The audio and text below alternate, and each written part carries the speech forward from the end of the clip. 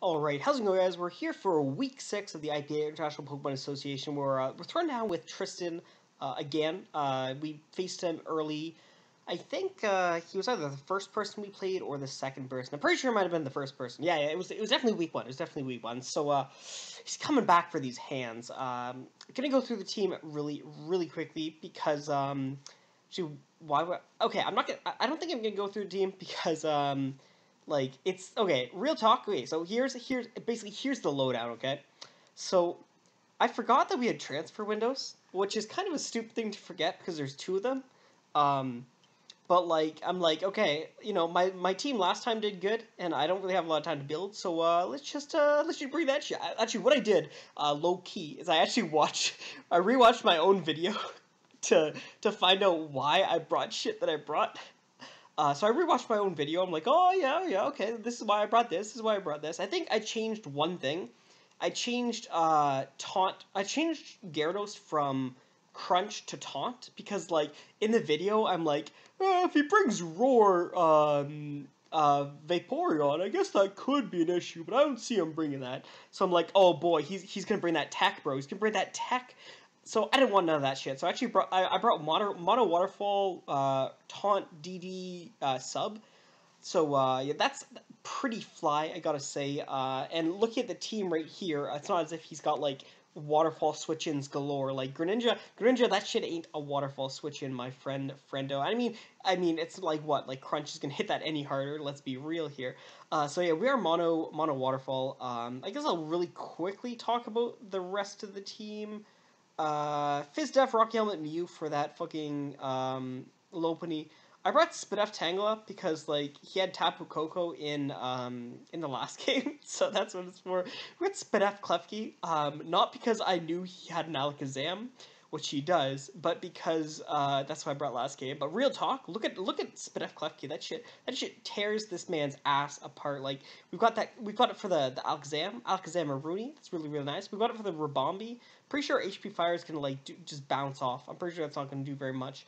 Uh, and we're, we're, toxic as well, not Thunder Waves, so it's not as if like he can just quiver dance, quiver dance, quiver dance, quiver dance, and sweep.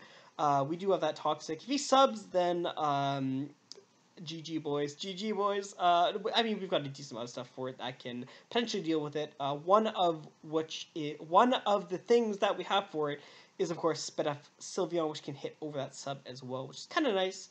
Uh, it's Torrent Greninja, which means it's not Broken Greninja, so that's worth mentioning as well. Uh, what other shit what did I do? Oh yeah, oh we brought the Scarf Blaziken, which was Tech versus his last team, but it's actually really really good versus his team right now because it's gonna be outspeeding um you know some some things. so uh, let's I guess let's just go into the battle right here. Um, Let's go. Let's see what what are we leading off with right here. We're leading off with Sylveon immaculate predictions because I assume he's going to want to predict like my Tangela because that's what I led with last time. Unfortunately, that's not what happens. He leads hard off with the Landorus, so we're going hard into Mew. If he wants to get rocks up, we'll get our own rocks up. He does not want to get rocks up, so we take those. We take those. I'm gonna Roost, which is 100% my best play. Uh, I was very close to going for Will-O-Wisp, so thank goodness we didn't do that because we would have basically lost our Mew turn two. So uh, yeah, Mew's pretty healthy. Uh, Landorus took some Rocky Helmet damage. We'll take those. Uh, he's not going to like attack into my Sylveon. Like he's not going to Dark Pulse. So Klefki is my play anyways.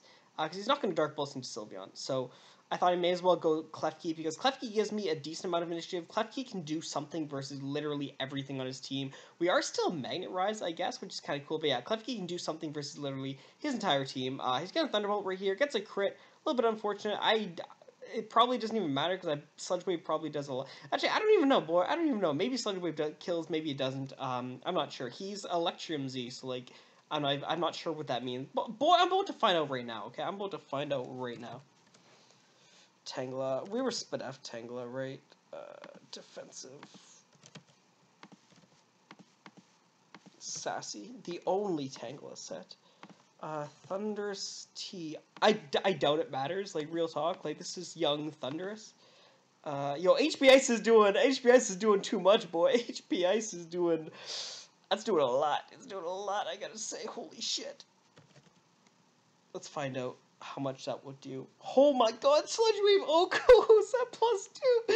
Oh my god, this Pokemon. Yo, yo, never never disrespect Thundurus. This Pokemon's the this Pokemon's the go to. This Pokemon's the future. Um, Landorus is at eighty four percent. Uh, so thanks to that Rocky helmet, he's actually legit not a switch into Blaziken. And I couched this before, and this basically wasn't a roll. Like forty two is absolute min, which is crazy. Um, or it's pretty close to min. Like he's not like if he's max HP, max defense, he'd actually take a lot less than that. Uh, if he's zero HP, uh, he'd take a lot more. So he's like some like mixed like which is good. Like he's he's running like I guess he's he's creeping something. Maybe he's like uh, rock polish as well, so that could be a thing. He's creeping something. Uh, he's definitely cr- uh, running enough speed to outspeed Mew.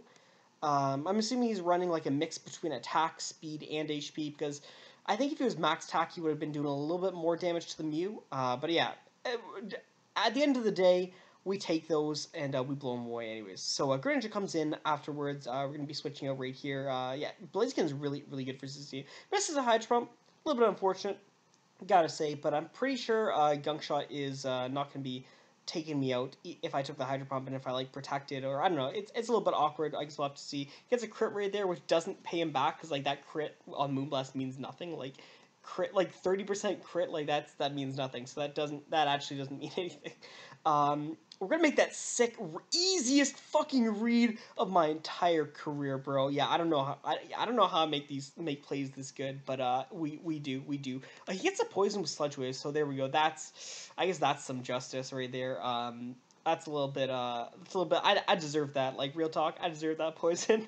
But uh Sylveon is able to 1v1 this fucking um Thundurus right now so that's really nice. Fortunately Klefki steals the kill fucking fucking Klefki stole that kill because of the, the poison but what can you do? Uh going to Klefki right here um we just want to break like this thing sash if it is a sash if it has a sash if it's not sash then it doesn't really matter I, but like all we want to do is break the sash and then we can revenge it with like a plethora of our of our squad of our of our yeah our squad. Let's just go with that. So we'll be Psyshocky. We'll break it. Uh, we'll deal two hits to him, and uh, that'll be enough damage for me because now we're at enough we're at enough health with leftovers to be taking Psyshocks to the point where we where we can get three layers up. And I don't want to kill Zam. I don't want to kill the Zimmer Zam because I want to sweep with Gyarados.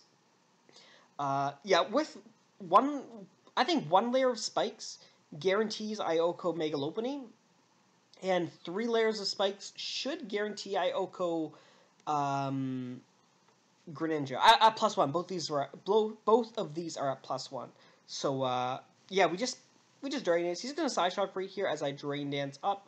And if he's Scarf, then he's going to be locked into that, so I Mega Evolve. If he's not Scarf, then I should be able to sub to Scout for it. So best of all best of all scenarios, all worlds. If he Psyshocks right here, then I win because he can't like fake out and just beat beat my ass down. So uh, we're able to bring it, bring uh, the fucking we're able to we're able to tear his ass up. Let's just say that.